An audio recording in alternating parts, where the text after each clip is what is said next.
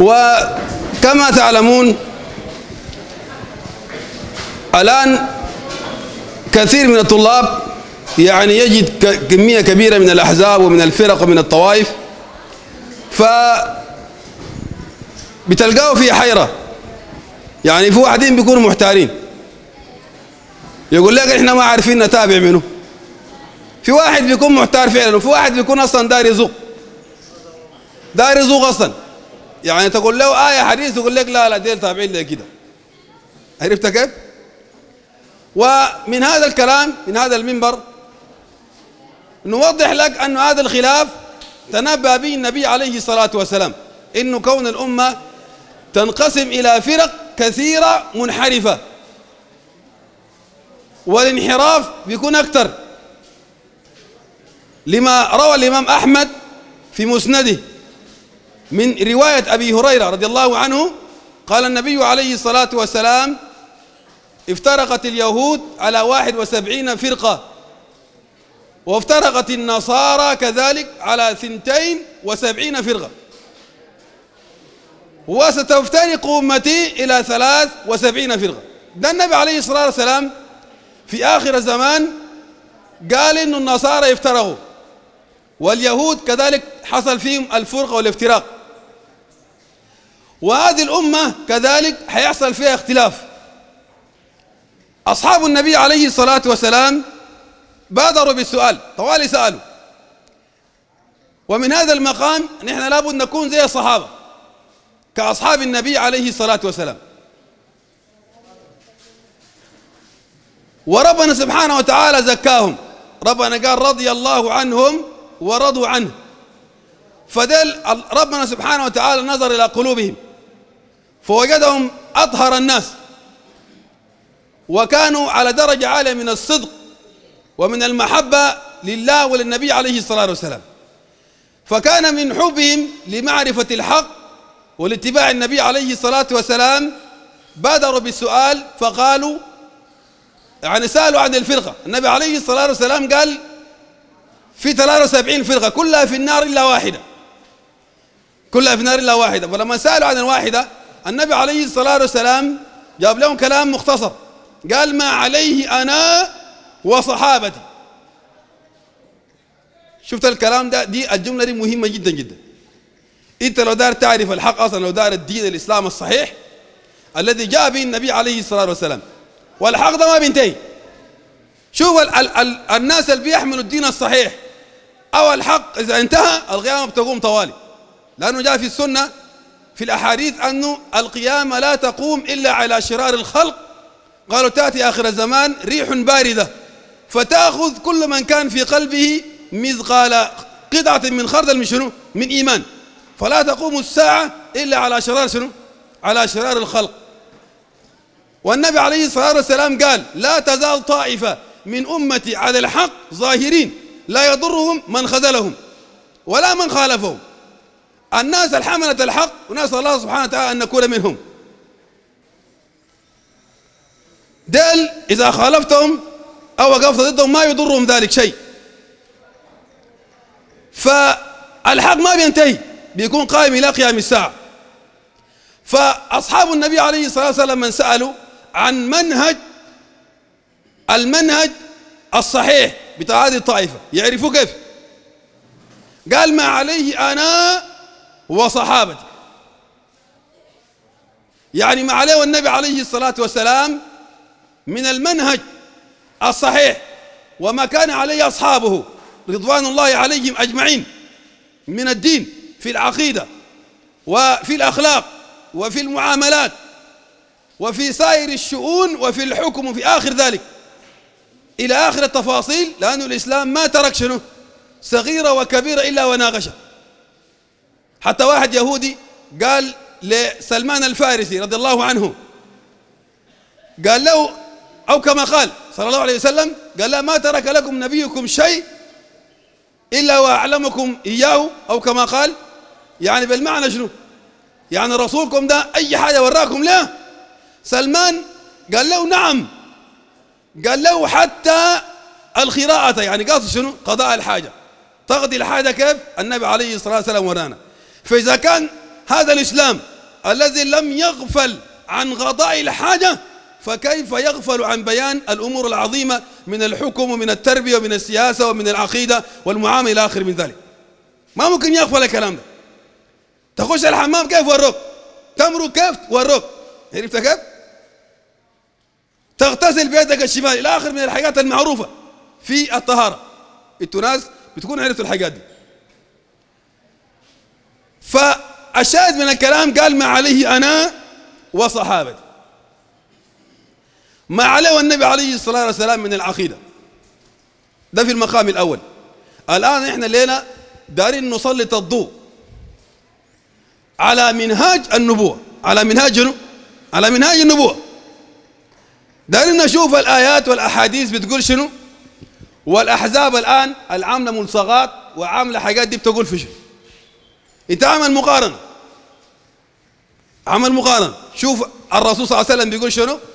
والصحابة بيقولوا شنو؟ أول حاجة بتقول قال الأحزاب دي لما تمسك المرجعية بتاعتها كلها المرجعية بتاعتها بتختلف تماما عن المرجعية الإسلامية. النبي عليه الصلاة والسلام قال ما عليه أنا وصحابتي. ده المرجع. الكتاب والسنة على فهم سلف هذه الأمة. لأنه الآية ما مطلوقة ساكت تما تجيب لي آية تجيب لي آية تحرف معناه تقول لي دي معناه كذا عرفت كيف؟ زي ما واحد سأله يعني صوفي سألوه من ال من ال من ال النوبة الدلوقة اللي بدقوها دي الصوفية جبتها من وين؟ عندك دليل؟ قال نعم عندي دليل قال ربنا سبحانه وتعالى قال في القرآن وأنيبوا قال كلمة بودي دي النوبة عرفت كيف؟ يعني زول عنده عقل بسيط بيعرف إنه الآية دي وأنيبوا إلى ربكم. أي أرجعوا شنو؟ إلى الله سبحانه وتعالى. ما عنده علاقة بشنو؟ بالنوبة. يجيب لك أدلة. أو يجيب لك أدلة مقطعة زي ما الترابي لما سألوه. الترابي لما سألوه قال ما في حاجة اسمها علامات ساعة. علامات ساعة كبرى وصغرى قال ده كلام فارغ. ما في كلام زي ده. دليلك شنو؟ قال ربنا قال الساعة شنو؟ تأتيكم؟ قال بغتة بغتة بغتة. كده يعني يعني تجيك شنو؟ ورد دلوب كده. طيب ما تم الآية. ربنا قال شنو بعد الكلمة دي؟ فقد جاء شنو؟ فقد جاء أشراطها. فده الإشكال هنا يا أخوانا؟ أصله يا يقطع عليك الآيات. يا يجيب الآية يحرف لك معناه عشان كده النبي عليه الصلاة والسلام قال آخر الزمان قال تقاتلون على تأويله. كما قاتلتم شنو؟ على تنزيل. الصحابة دي لما قاتلوا حتى يثبتوا أن هذا القرآن هو كلام الله. آخر ما بكون الإشكال هنا. الإشكال في أنه ما هو الفهم الصحيح لهذه الآيات وهذه الأحاديث. عرفت كيف؟ لما نجي نرجع الآن في مقام العقيدة زي ما قلت لك نشوف ما علي أنا وصحابتي. أول حاجة المرجعية ما واحدة يعني الصوفية المرجعية بتاعتهم ما الكتاب والسنة. الأخوان المسلمين جماعة الأخوان المسلمين بكل طوائف مؤتمر الوطني مؤتمر الشعبي راس الترابي حزب التحرير تنظيم القاعدة مو عارفين داعش. تاني شنو؟ جبهة النصرة. ما عارف إلى آخر من الأقسام بتاعته. ديل كلهم أخوان مسلمين. ديل كلهم شيخ منه شيخ حسن البنا وسيد قطب. وفي كتب قاعدة هنا. جيب الكتب خطها هنا بالله. كتب سيد قطب قاعدة شيخهم كلهم. عرفت كيف؟ الناس ديل مرجعيتهم ما الكتاب والسنة. الصوفية ناس البرعي والمكاشفي وناس فرح والتكتوك. قال آخر الزمان المشي بالبيوت والكلام بالخيوط. قال بيعلم الغيب. كذاب طبعا. لأن ربنا قال شنو؟ قل لا يعلم من في السماوات والأرض الغيبة إلا الله. وما يشعرون شنو؟ أيانا يبعثون. في كتب عشان ما تجي تغالي الساكت. عرفت كيف؟ بديك فرصة أي كلام تقوله تقوله. ده ده الكتب منه؟ سيد قطب ده سيد قطب وده القرضاوي. كويس؟ وده دكتور حسن وعطاء ترابي على خاطر يده كيف فاهم مفكر كبير يعني. ما عنده أي حاجة. والله ده أبلد من حمار أبيه. أنا بوريك بعد شوية. عرفت كيف؟ لأنه ذول بيجي بيقول لك أنا أعلم من الرسول صلى الله عليه وسلم. أنا أعلم شنو؟ من الرسول صلى الله عليه وسلم. أنا بعرف إنجليزي وفرنسي والرسول ما بيعرف إنجليزي وفرنسي. ده الترابي. لأنه طبعا يتربى هناك برا تربى في فرنسا. قرأ في جامعة اسمها سوربون. هناك طبعا الداخلية مختلطة. أنت عارف الكلام ده؟ في فرنسا هناك. طيب الصوفية بقول لك شنو؟ الصوفية قالوا المرجعية بتاعتهم الرؤيا والمنامات. الرؤى وشنو؟ الرؤى والمنامات. طبعا في ناس بيزعلوا. مين تجيب اسم زول؟ طوالي بيتضايق بيتململ. واحد بيعاين للثاني بيتلفتوا يعني نظام شنو؟ يعني جابوا الأسماء المفروض ما يجيبها يعني كونه أجيب الأسماء حرام اي جيب الدليل. عندك دليل؟ ما في سؤال. كونه أجيب اسم الترابي والبرعي حرام ولا حلال؟ ما واحد من الاثنين. حرام. جيب الدليل. أن إحنا عندنا الأسماء دي لا تكون زول محترم. بيجي زول محترم مؤدب زول مسلم على الكتاب والسنة ما بتلخبط في الدين ما بنسرك لكن مجرد ما كتبت كتبت كتب. المرأة بين الأصول والتقاليد زي ترابي وقال ممكن شنو؟ المرأة تهم الرجال. وقال ما في حاجة اسمها شنو؟ المرأة مش تشهد يكون مرتين وراجل. كلام زي فارغ. لابد المساواة. عرفت كيف؟ والمساواة لا شنو؟ العدل وشنو؟ والمساواة واسمعك. كلام بالشكل ده. لو بقيت تقول كلام زي ده زي بتاع الصوفية وبتاع القرضاوي اللي بيقول النصارى والمسلمين حاجة واحدة والنصارى ما كفار واليهود ما كفار ومشكلتنا معاه ما مشكلة في الدين قال مشكلتنا مع اليهود ما مشكلة دينية قال مشكلة شنو؟ اقتصادية دي أرض عربية اغتصبوها وإحنا نرجع الأرض العربية دي بيقولوا كده. يعني مشكلتهم ما مشكلة دينية. لأنه حسن البنا قال ربنا لما يتكلم عن اليهود قال ناقشهم من منظور اقتصادي. يعني ربنا لما قال أنا ما أعرف ما قال الآية دي لن ترضى عنك اليهود ولا النصارى. دي ما قالها نرجع ونقول النقطة الأولى إنه الناس المرجعية بتاعتهم ما واحد يا أخواني. الصوفية بيقول لك الرؤية والمنامات. الشيء الثاني بيقول لك لقاء الله الشيخ بتاع الطريقة. بيلاقي الله بياخذ منه العلم طوالي كويس؟ زي ما جاء في كتاب الفتوحات المكية. كتاب اسمه كده اسم الفتوحات المكية واحد اسمه أبو يزيد البسطامي. أبو يزيد البسطامي ده قال مساكين أهل السنة. أخذوا دينهم ميت عن ميت. يعني تقول له فلان عن فلان عن فلان. في صحيح البخاري. تقول له فلان ده وين مات؟ فلان ده وين ده مات؟ صحيح البخاري وينه مات؟ يقول لك الكلام ده لا ينفع معنا. يقول لك أما نحن أصحاب شنو؟ عشان كده قسموا الدين لشريعة ولحقيقة. قسموا الدين لشنو؟ لشريعة وحقيقة وظاهر وباطن. عرفت كيف؟ دي تقسيمات عشان بعدين الشيخ لو عمل أي حاجة ما تعترض عليه عرفت كيف؟ فهم بيقولوا كده. قال مساكين أهل السنة أخذوا علمهم شنو؟ ميت عن ميت. أما نحن قال فناخذ علمنا شنو؟ فناخذ علمنا عن الحي الذي لا يموت. عشان كده بيقوم يقول لي خاطبني قلبي عن ربي. بيعتقد طوال إنه بيشير من الله طوالي مباشرة. والتجانية ده اللي عندهم في كتابهم هنا جواهر المعاني طريقة تجانيه والناس كلهم واحد يا أخوان كلهم واحد. الصوفية كلهم واحد سمانية تجانية كلهم واحد. عرفت كيف؟ فديل بيعتقدوا ديل بيعتقدوا شنو؟ تجانية. إنه في عندهم حاجة اسمها الحضرة الإلهية. إنه الشيخ بيكون قاعد والحيران والله بيجي بيجي بيقعد فيها. وعندهم حاجة ثانية اسمها الحضرة المحمدية. كلامي ده لو أنت قالوا غلط أسي الآن أمشي لأي طريقة تجانية. بالذات يوم الاثنين أو يوم الجمعة بعد العصر. تلقاهم متلمين قاعدين كده خاتين لهم كوز بتاع موية. وتلقاهم بيذكروا. ده بيقول لا إله ده بيقول إلا الله. قاعدين فريقين صفين كده. صفين. ده بيقول لا إله ده بيقول إلا الله. دي حاجة اسمها المجادعه قال. زي الموسيقى. عرفت قال. قال ده ذكر ده دين قال. هل فعل ذلك النبي عليه الصلاة والسلام؟ ما فعل ذلك أصحاب النبي عليه الصلاة والسلام.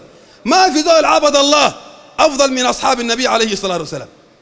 فدل بيجي بيقول لك الله اتكلم معي مصدر التلقي الثاني عند الصوفية بيجي بيقول لك الشيخ لاقى الرسول يغيظة لا مناما في كتاب جواهر المعاني يا اندلو كتاب جواهر المعاني بتاع شنو؟ بتاع أحمد التجاني. الكتاب ده ما ألفه التجاني ذاته ألفه تلميذ اسمه علي حرازم. علي حرازم قال الشيخ بتاعي أحمد التجاني قبل ما يموت قال فاض علي من علمه تعرف عندهم حاجة اسمها الفيض. فاض علي بعلمي عن شنو يعني؟ يعني ما ما ملاه له. قبل ما الشيخ يموت العلم بتاع أحمد التجاني مشى كده بالبلوتوث. ورد كبر في راسه كده. بعد ذاك قام الف والله الذي أقرأ كلام قاعد هنا. قاعد هنا. البلد دي فيها كم تجاني؟ ما في سؤال مطروح هنا. في كم تجاني في البلد دي في كم قادري؟ في كم سماني؟ عرفت كيف؟ دي الآلاف مؤلفة في البلد دي أنصار المهدي بتاع المهدي. دي لغاية الآن بيعتقدوا القوة بتاعت المهدي في مدرمان هناك. الإنجليز شالوا المهدي قطعوه في الموية. كويس معك؟ الليلة بطوفوا جوا القبة. يا زول زول ما فيش. يقول لك روحوا قاعد الاف جوا قاعدين هناك. عرفت كيف؟ فعندهم عقائد زي دي. الطريقة التجانيه نشأت كيف؟ قال أحمد التجاني كان ماشي في الخلا. لقاه الرسول يغظة لا مناما. والكلام ده غلط يا اخوان الرسول صلى الله عليه وسلم بعد ما مات تاني ما بتلاقيه. يغظة يغظة يعني شنو؟ يعني؟ يعني زي ما أنا شايفكم كده. عرفت كيف؟ يغظة لا شنو؟ لا مناما. والنبي عليه الصلاة والسلام في الحديث قال من رآني في المنام فقد رآني حقا فإن الشيطان لا يتمثل بي. ده في النوم. ما في شنو؟ في اليقظة ده قال لاقاه يغظة لا مناما. وأداة الطريقة التجانية وأداة صلاة الفاتح لما أغلق وقالوا صلاة الفاتح بتعدل القرآن شنو؟ ستة ألف مرة كان موجود في الكتاب ده هنا. ستة ألف مرة. لما تجي تقرأ صلاة الفاتح لابد تتوضأ زي كان أنا أصلي. والكلام كله كذب يا أخوان كله كذب في كذب. وين لاقى النبي عليه الصلاة والسلام لا مناما النبي عليه الصلاة والسلام مات. لكن الآن الصوفية بيقول لك الرسول ما مات. واحد. بيقول لك الرسول صلى الله عليه وسلم ما مات والرسول ما بشر. يقول لك ما بشر. تقول ما بشر كيف؟ يقول لك ما بشر كالبشر. وده نفس اللي وقعوا فيه النصارى ذاته. النصارى لما قالوا عيسى هو إله وعيسى ابن الله. أي نصراني؟ سلفاكير أوباما وتماشي بتاع الفاتيكان ديل كلهم. أي معلق صليب بيعتقد إنه عيسى عيسى ابن عيسى ابن, ابن مريم إله وأمه أم الإله. عشان كده ربنا كفرهم في القرآن الكريم. ربنا قال قد كفر الذين قالوا إن الله شنو؟ وربنا قال في القرآن سورة البينة لم يكن الذين كفروا من أهل الكتاب. طبعا الشعبيين ناس الترابي؟ بيقول لك لا لا. أهل الكتاب ما كفار. ما كفار كيف؟ الآية دي معناها شنو يعني؟ لم يكن الذين كفروا شنو؟ من أهل الكتاب. عرفت كيف؟ فدل مرجعيتهم قلت لك شنو؟ الرؤيا المنامات. ده بزول بنوم. الشيخ نام وزي ما قال لك قال لا قال الرسول يقظة الله مناما. وده كلام باطل يا اخواننا مخالف للقرآن وخالف لشنو؟ للواقع. كلام كذب على النبي عليه الصلاة والسلام والرسول عليه الصلاة والسلام قال من كذب علي متعمدا شنو؟ فليتبوأ مقعده من النار. ديل بيكذبوا على النبي عليه الصلاة والسلام. كويس؟ فديل بياخذوا دينهم من المنامات. تقول له السمانيه جيتوا الطريقة دي من وين؟ يقول لك شيخنا السماني كان نايم جاء الرسول في النوم. قال لا أعمل الطريقة السمانية. وهاك الوريد ده. تمشي للختميه تلقى سموها ختميه لشنو؟ قالوا آخر ولي ثاني ولي ما في. تعرف الكلام ده كيف؟ يعني نحن كلنا قاعدين ساكت. ولي ثاني ما في. داري ولي ما في معناه شنو؟ معناته أنا زول بخش الجنة ما في.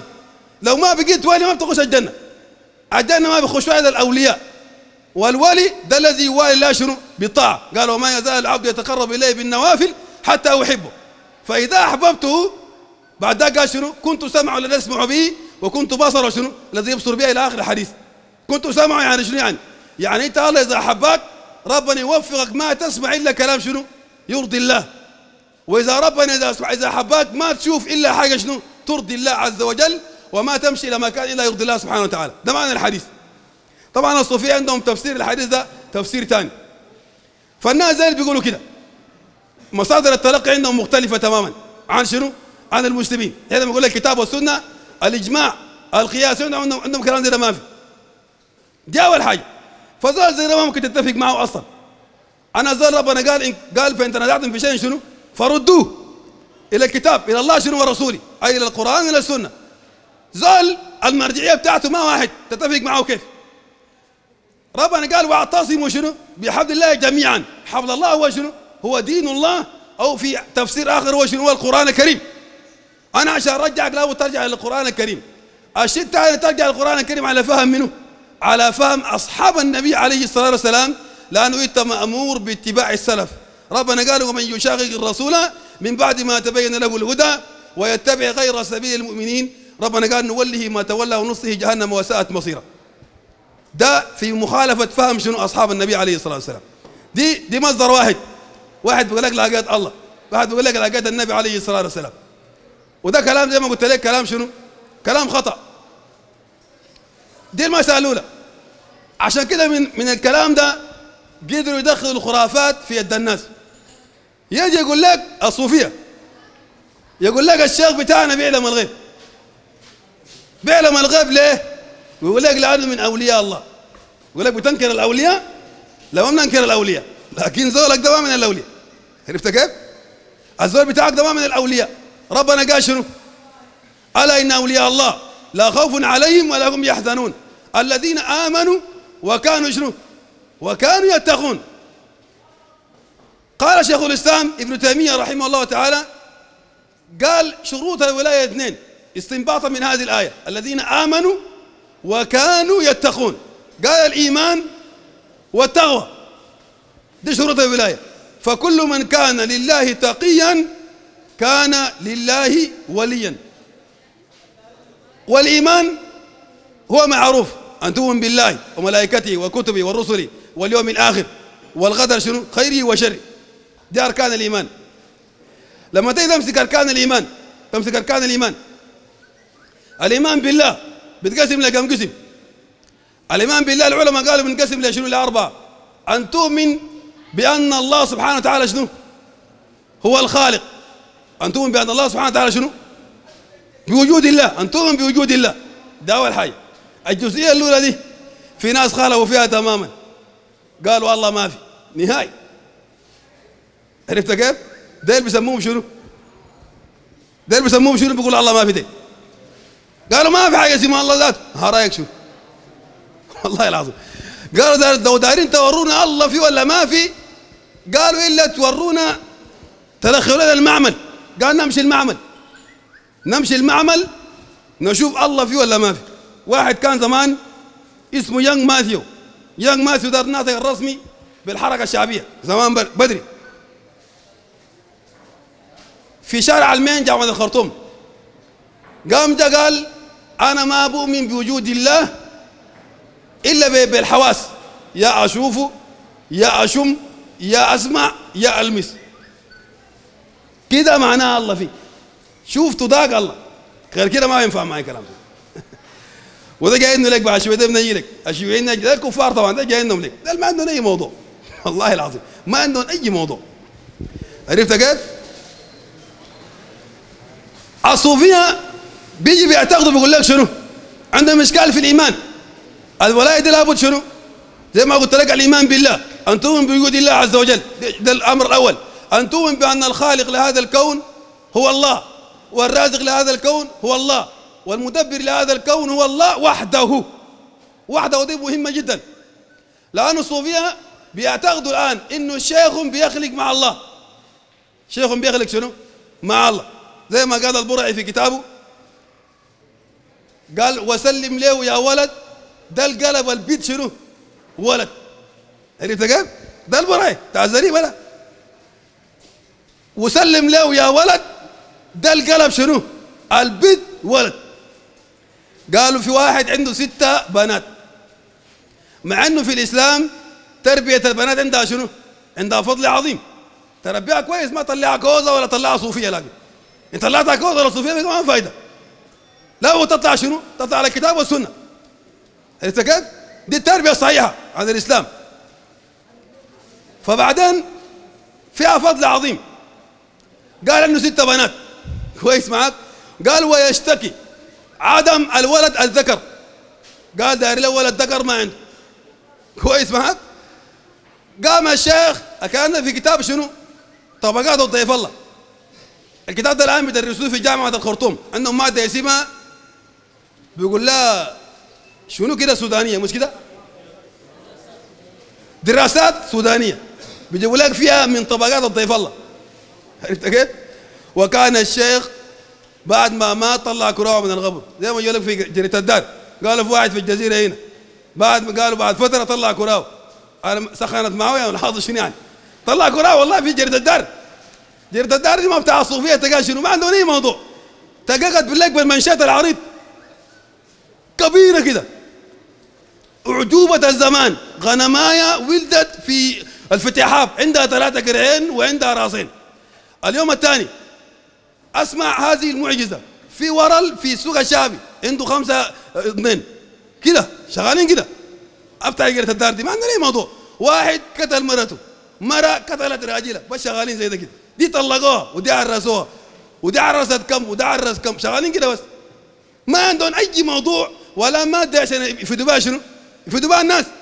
بل بيجيبوا كلام ضلال. عدل كده زي الكلام قلت لك ده. قالوا دي كرامة من الكرامات. زول طلع كرامه من القبر. هلت بالك معي؟ قال الجماعة جو. قال لا الشيخ الناس دي انكروا الكرامات أو قبل دي قبل الموضوع ده قالوا القبر بتاعه طلع موية. إحنا قلنا لهم يا أخي يمكن تكون في ماسورة كسرت كلام شنو ناس الهيا. قال يا شيخ الوهابية دي انكروا الكرامة بتاعتك. طلع لك حاجة ثانية قالوا الشيخ طلع كراو أنتوا ما تنادونا بس أي واحد طلع كراو نادونا ورينا الكراو طلعت كيف. والساعة كم؟ وطلعت لشنو ذات وطالع ليه؟ قال طلع كراو من القبر كده. قال الشيخ بركتك وسطتنا تب! قال الشيخ طلع نزل كراو شيت نزلها تحت قال. عليك الله. فيلم هندي ده لقاك؟ لا كلام زي ده. فيلم هندي توم جيري لا كلام زي ده؟ والله العظيم ده دي من الكرامات. دي من شنو؟ دي من الكرامات. فده اللي بيعتقدوا عقائد زي دي. إنه الشيخ بيقلب. عرفت كيف؟ بيقلب قال قلب البيت قلب شنو؟ قلب ولد. كويس معاك. واحد ثاني قال من شجرة من شجرة. قال برضو مرة الشيخ قالت لا الشيخ أنا الخدمة كترت علي. العدة والعواسة كترت علي شغلت كويس معاك؟ وما أدراك ما غسل العدة. عرفت كيف؟ قال الشغله دي كترت عليها. دار لها خادم تخدمها. قال لا سمح بالحيل. قال شال له فرار. زول دار يجيب خادم. شال له فرار. ودخل الغابة. لقى له شجرة بتاع السلطة ولا شنو ما بعرف. وقع في شجرة كبير قال قطع له شجره كقامه الإنسان. ده الصوفيه قلت لك ده البرعي. دي عقيدة بتاعت آلاف في هذه البلاد. أنت ما جايب خبر. زول بيعتقد إنه زول بيخلق له من شجرة بيخلق له بني آدم. قال جاب العود خدته ولف العود قال بيتوب. قال طبعا ده السيناريو هنا ده الكذب هنا. قال فبدأ يذكر الله بهمة عالية. أنا بجيب لك شجرة وبجيب لك توب. بغطك هنا. أذكر الله بهمه عاليه اقلب لي أنت مجنون ولا شنو؟ لكن ده صوفي. الصوفي شنو؟ يقول لك كلام زي ده. قال بعد فترة قال العود يهتز قال. قال العود بقى بقى بقى بيت. والله قد قال قال لها بخيتة بخيتة بخيتة. ثلاث مرات قال. كويس معك قالت له نعم سيدي. كويس. قالت له نعم سيدي. كويس؟ قال قال لها راح معي البيت. ورسها وداها البيت ليه؟ والله قد قال قعدت خمسين سنة مع الرسولية ولا شو ما عارف ولدت بعد ذاك. هلا شجرة ولدت. والله العظيم. شفت كيف؟ وديك برضه بديك بتاعت اللي كانت بنت اللي كانت بنت ديك؟ قلبها ولد. برضه قال عرس لها قال وقع بعد خمسين سنة ولدت ولد اسمها أبي ورق. قال وهذه الكرامة مشهورة. قال نار على علم. قال ولولا وقوفي على صحتها لما دونتها شنو؟ ها هنا. ده قاعد في الكتاب. الكتاب مش قاعد؟ موجودة قاعد الكلام دي عقيدة البرعي بيعتقد إنه الشيخ الأولياء يعلمون الغيب مع الله سبحانه وتعالى. وده شرك بالله عز وجل. شرك بالله. شرك يعني شنو يعني شرك بالله سبحانه وتعالى؟ الشرك قالوا العلماء قالوا هو مساواة غير الله بالله في شيء من خصائص الله. يعني حاجة خاصة بالله تجي تجيبها تقول دي شنو؟ دي حقة المخلوق. يعني الله بيخلق الشيخ بيخلق. الله بيعلم الشيخ بيعلم. زي الله. زي ما بقول البرعي. البرعي قال قومات نزاور للأولياء الأغطاب لهم نشاور منهم خفي الحال منهم مجاهر من الأولياء يعني. منهم عليم بالغيب شنو؟ قال منهم عليم بالغيب باطن وظاهر. قال الأولياء ديل بيعلموا الغيب باطن وظاهر. فنحن الآن يا أخواننا بين أمرين. يا إما نصدق القرآن يا إما نصدق البريدة عرفت كيف؟ وأنا البريدة عندي كذاب. بنص القرآن وبالعقل كده بالعقل ساقط كذاب. كويس؟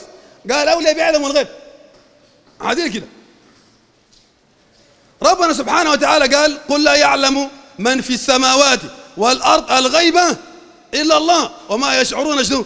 أيانا يبعثون. ربنا سبحانه وتعالى في آية أخرى قال تعالى قل لا أملك لنفسي نفعا ولا ضرا. ولو كنت أعلم الغيب لاستكثرت من الخير وما مسني السوء. عرفت كيف؟ ربنا قال النبي عليه الصلاة والسلام محمد بن عبد الله أفضل خلق الله قاطبة صلى الله عليه وسلم. لا يعلم الغيب.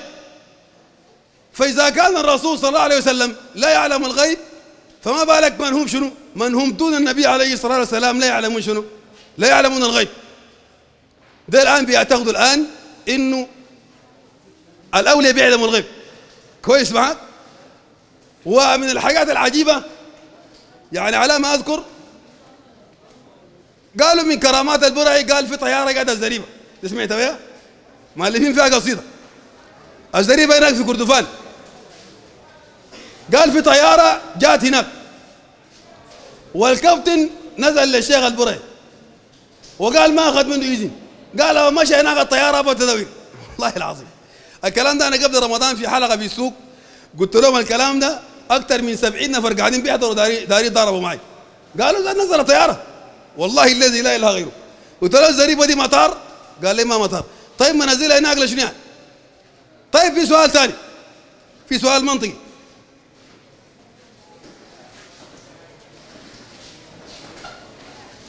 طيب. البلد دي يا أخوانا زي ما أنتم عارفين انضربت مرات عديدة بطيران من من من اليهود من إسرائيل. عندك شك إنه الإسرائيليين دي كفار؟ ما عندك شك مش كده؟ المصنع بتاع اليرموك في أبو آدم جنب بيت ناس أخونا الشهاب ده. كويس معاك؟ جنبه مص 15 متر بس من المصنع. انت قاعد.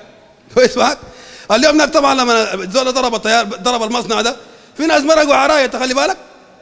مرقوا عرايه مشوا جاروا البحر. ماشيين الاشجار ما عارف. مرة جارية الرجال جارين من الضربة دي. كويس؟ ضربت بطيارة. مصنع اليرموك مصنع الشبه انضرب برضه ولا ما انضرب. كيزان انضرب ولا ما انضرب؟ البريه بتاعكم ده ماله كان كان قاعد وين؟ كان ماخذ إجازة؟ أظن كان نزل طيارة هناك في الزريبة. ليه الطيار ده لما تضرب المصنع ده ما نزل في سؤال مطروح للصوفيه يا إما البريه ده كذاب يا إما الزول ده مع اليهود. واحد من اثنين إذا كان مع اليهود سكت عمل لابد عشان الجماعة يضربوا البلد دي إذا بقى مع اليهود يورينا مين عشان إحنا نعرف. الكلام ده للصوفيه عرفت كيف؟ ما هي شغلة تقال إحنا بنخليك. والله الذي لا إله غيره. تكتب لك كتاب. والله العظيم. تكتب كتاب. فيه ضلال فيه كفر ما نخليك يوم القيامة. والله ما محل ما تمش ما نخليك. تمش أي حتة. نباري. تكتب كلام زي ده. نخليك. تجي تقول لنا كلام فارغ زي ده. والشيوخ تسأل الشيوخ من دون الله عز وجل. البرهي بيقول لي خلي الله. وامسك في الشيخ. قوم يا أخي ناديهم لي رجال الله اللي بيزيلوا البيت والله العظيم مصر المؤمنه بأهل الله. يعني مصر ما من الله ما من أهل الله. شعوانا والسيدة نفيستي ده الماسكين مصر. ورابع العدوية ما سمعت أنت؟ وسيدي الشعراني الناشر لعلم الله. طبعا ده ناشر له كفر قلة أدب. الشعراني عنده كتاب براو. ومصر دي أصل مؤمنة أصل مصر مؤمنة؟ مصر دي مؤمنة ناسع ما قاعدين يكورقوا؟ سد النهضة وما سد النهضة وهو كواريك الله وين يا جماعة؟ وين الجماعة؟ وين شعوانا وين السيدة نفيسة؟ كويس معك وين الجماعة ديل؟ قال ديل مؤمنين شنو؟ مصر ربنا قال في القرآن الذين آمنوا ولم يلبسوا إيمانهم بظلم أولئك لهم الأمن شنو؟ وهم مهتدون. اللي بيأمن الكون ده الله براو.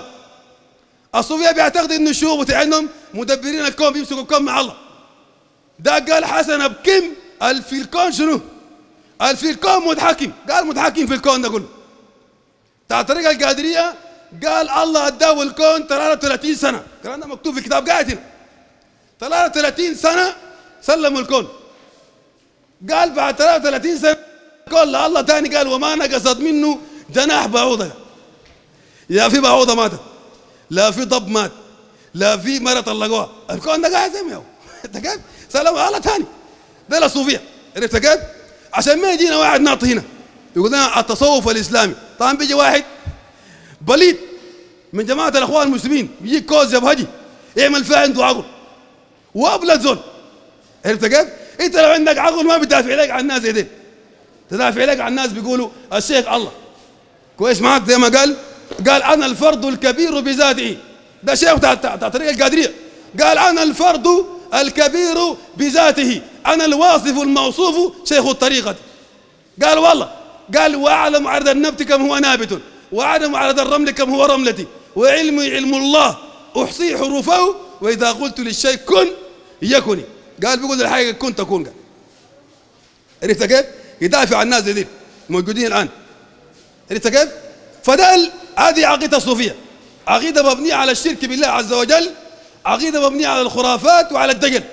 عشان كده أي زول مسلم صاحب عقل وصاحب فطرة سليمة كان لابد له شنو؟ إنه يحارب الناس دي ويكشف الناس دي يكشفوا غشوا الناس كلها. نحن أهل الله نحن الأولياء نحن عندنا خلاوي نحن عندنا بنعمل عرس جماعي نحن ما أعرف شنو إلى آخر من ذلك. شوف لو عملت أي عمل صالح في الدنيا دي أي عمل صالح عملته في الدنيا دي وأشركت مع الله ما عندك أي حاجة. ربنا قال فقدمنا إلى ما عملوا من عمل. فجعلناه شنو؟ فجعلناه هباء منثورا. ما عندك أي حاجة. إذا أشركت مع الله ما عندك حاجة. ربنا بيتكلم عن الأنبياء كلهم. ربنا قال ولو أشركوا لحبط عنهم ما كانوا يعملون. عرفت كيف؟ ده من الشرك بالله عز وجل. عرفت كيف؟ ف